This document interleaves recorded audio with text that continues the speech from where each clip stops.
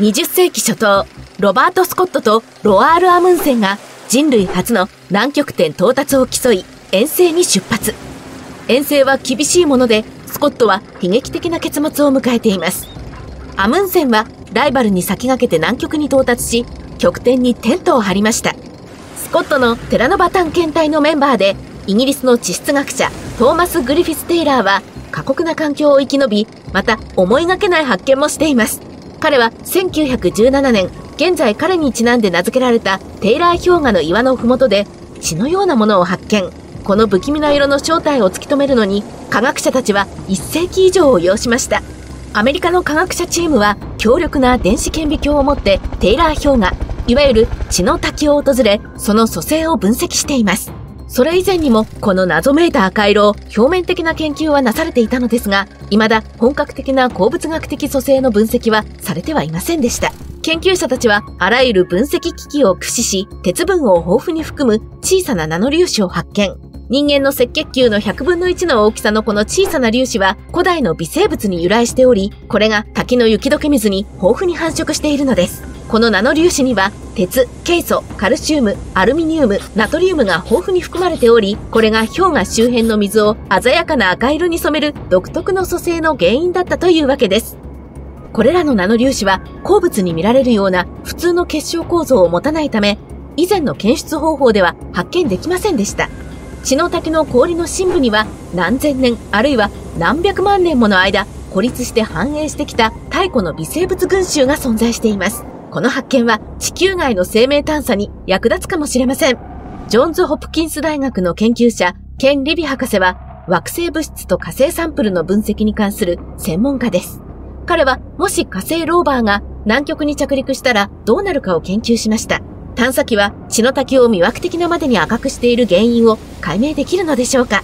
研究者たちは血の滝で火星着陸地点のシミュレーションを行いました。火星探査機にヒントを得た技術が駆使され、採取したサンプルはジョンズ・ホプキンスの処理施設に送られました。その施設でリビーは等価学電子顕微鏡の力を借り、謎めいたナノ粒子を明らかにしています。その結果、彼は探査機で他の惑星の地表を分析する現在の方法は不十分であるという結論を下しました。特に火星のような寒冷な惑星では環境物質の本質を解明することはできないようです。そこで発見される物質は超微小で非結晶性である可能性があり、この検出方法が使えないのです。岩石惑星の本質を本当に把握するには、透過型電子顕微鏡が必要となります。火星探査機にこれを搭載することはまだできませんが、宇宙探査の新しい時代の幕開けとなるかもしれません。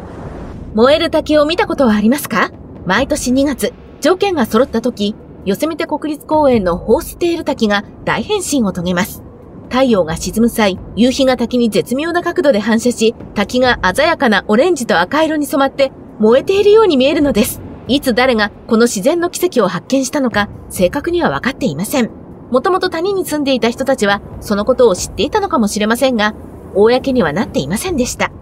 1973年になって、写真家のギャラン・ローウェルが初めてこのような滝の写真を撮影し、脚光を浴びることになります。それ以来、炎の滝は世界的に有名になり、ソーシャルメディアでもバズって、遠くからはるばる多くの人々が訪れるようになったのです。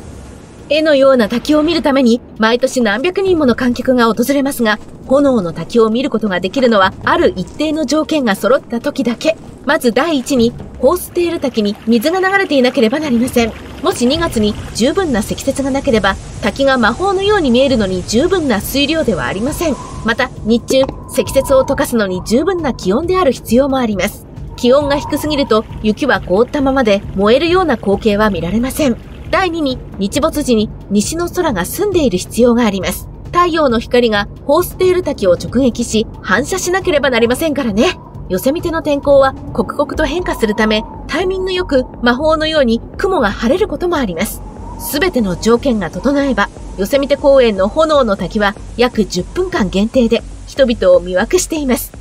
カリフォルニアのデスバレー国立公園にある動く岩の謎は長年科学者たちを困惑させてきました。重たい岩があたかも意志を持っているように干上がった固定であるレーストラックプライヤを移動するのです。ひび割れた泥の上には岩の動いた跡が残るだけ。この現象を説明するために磁場やダストデビル、つまり強いつむじ風やいたずら説まで、あらゆる説が論じられました。実際にこれらの岩が動いているのを目撃した者はおらず、謎は深まるばかりでした。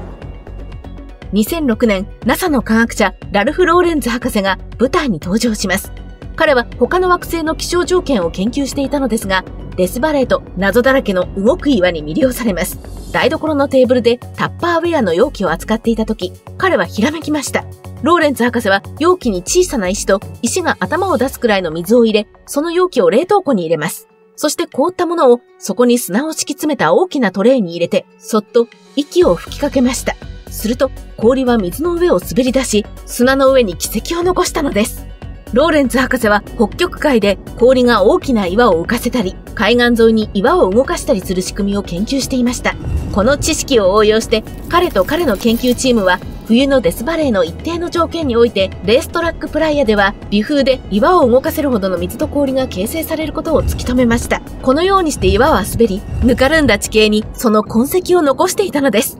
コロンビアにある5色の川、カーニョクリスタレスは世界で最も美しい川と非公式に呼ばれています。一年の大半はどこにでもある川のように見えます。しかし、水位が完璧になる雨季と寒季の間に魔法が起こります。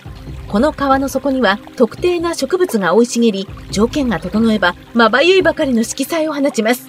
鮮やかな赤、見事な黄色、青々とした緑が青い水と混ざり合うその様子はまるで染色の色に溢れた虹の中に足を踏み入れたかのよう。この驚異的な光景は9月から11月までの数週間しか見られません。コロンビアの雨季には川の流れが早く深すぎるため川底が覆われ植物が赤く染まるのに必要な日光が差しません。一方寒気には川の生命を維持するのに十分な水がありません。というわけでベストなタイミングでしか見られない光景なんです。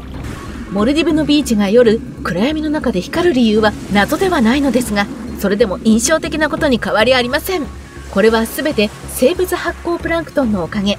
この微小生物は水中のディスコボールのごとく興奮したり動いたりすると綺麗な青色に発光します。海岸沿いを散歩中に砂についた足跡が光っているのを想像してください。魔法のようなプランクトンの中を夜間泳ぐことも可能です。研究者たちはこのプランクトンの生物発光が捕食者に対する防御システムであることを発見。プランクトンが小さな青い光を点滅させると攻撃者を驚かせ、狼狽させるのです。プランクトンはルチフェリンという化学物質を使ってこの光を作り出しています。